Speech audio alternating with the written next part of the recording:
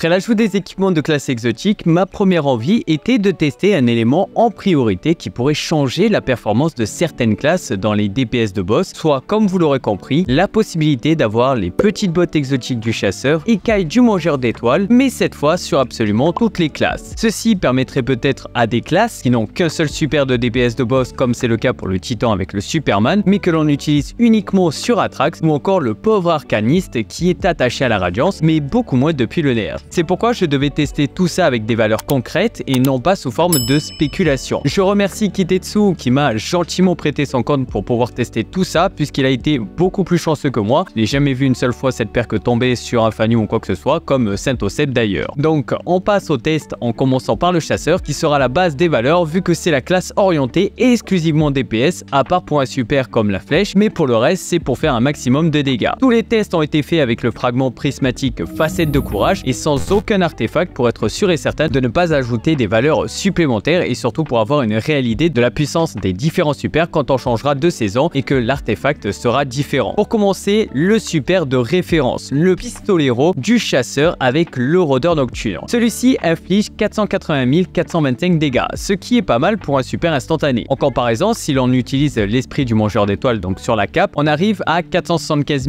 644 dégâts, on est très proche de la référence tout de même. Et là, on commence à rentrer dans du sérieux, puisqu'à son arrivée, le fil obscur du chasseur a littéralement balayé toute concurrence, et avec l'esprit du mangeur d'étoiles, on tape à plus d'un million 61 475 dégâts, soit presque trois fois les dégâts d'un pisto rôdeur nocturne tout de même. Pour bien démontrer que le pisto n'est pas un top DPS, il suffit de regarder les dégâts du super Stas qui inflige 463 421 dégâts. D'ailleurs, j'ai aussi testé le chasseur cryo, et franchement, j'ai été très surpris des résultats. Je m'attendais pas du tout à voir presque deux fois plus de dégâts qu'un pisto, soit 813 564 dégâts, c'est vraiment pas mal pour ce genre de super. Maintenant que l'on a toute la base des dégâts des super du chasseur, on passe au titan, qui est pour moi la classe qui a le plus de mal à s'exprimer lorsque on parle de DPS de boss, et surtout lorsque le boss n'est pas un boss au sol, ou alors que le contact mêlé n'est pas possible. Et quoi de mieux comme référence que le titan cryo Superman avec le torse exotique qui va permettre au titan d'infliger 543 536 dégâts. Si l'on retire ce torse pour justement un esprit du mangeur d'étoiles, on obtient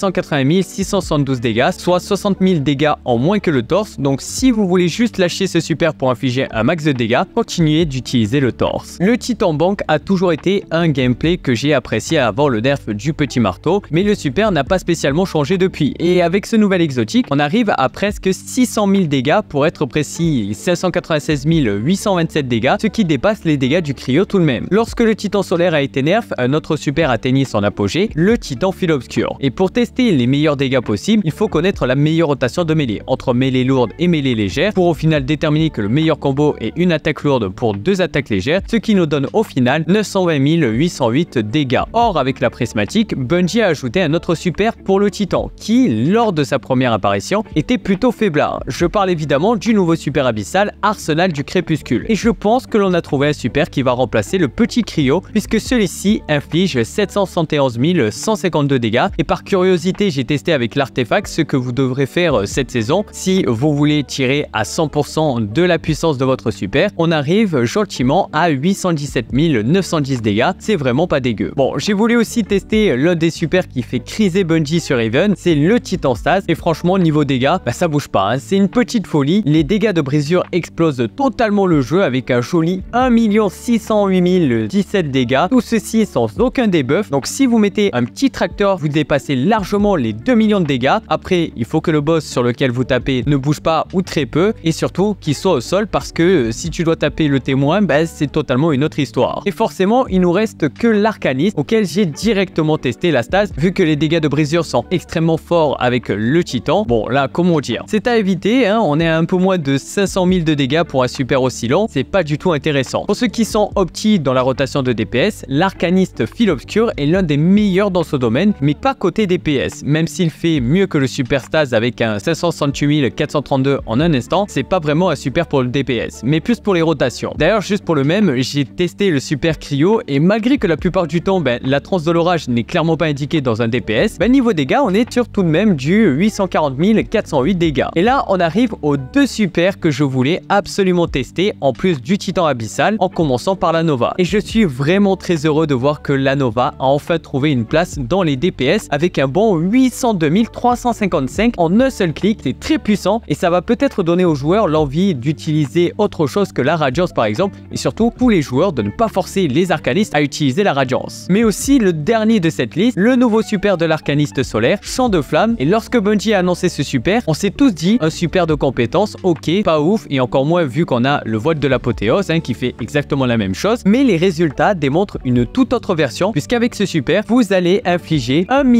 251 119 dégâts pour juste des compétences et je vous le dis, bientôt il y a une petite vidéo dessus tellement c'est broken. Voilà un résumé de tous les résultats. Je sais que certains sont en train de se dire je vais utiliser le titan stase ou bien l'arcaniste cryo parce que j'aime bien et euh, plus jamais le pistolet du chasseur mais uniquement le fil obscur. Comprenez bien que ceci s'applique pour des dégâts totaux et non un DPS optimal. Vous pouvez obtenir des valeurs bien plus élevées avec un pistolet et le sniper chasse à l'affût par exemple alors qu'il faudra 10 fois plus de temps avec un titan stase par exemple pour atteindre les mêmes résultats ce qui n'est pas euh, faisable lorsque la durée d'un DPS est limitée entre 30 et 45 secondes en général. En tout cas, ces résultats démontrent que le titan a enfin de quoi se défendre pour du DPS de boss, que l'arcaniste a deux super de folie qui peuvent être totalement utilisés dans n'importe quelle situation et que le chasseur ben, va clairement être attaché à son pistolet, surtout avec le dernier DPS du témoin. Vous avez la data de quel super sera le plus efficace dans telle ou telle situation. Faites-en bon usage. En tout cas, je suis content pour le titan et l'arcaniste. Ça fait plaisir à On se laisse ici. Prenez soin de vous et prenez soin des autres. Peace and love, baby.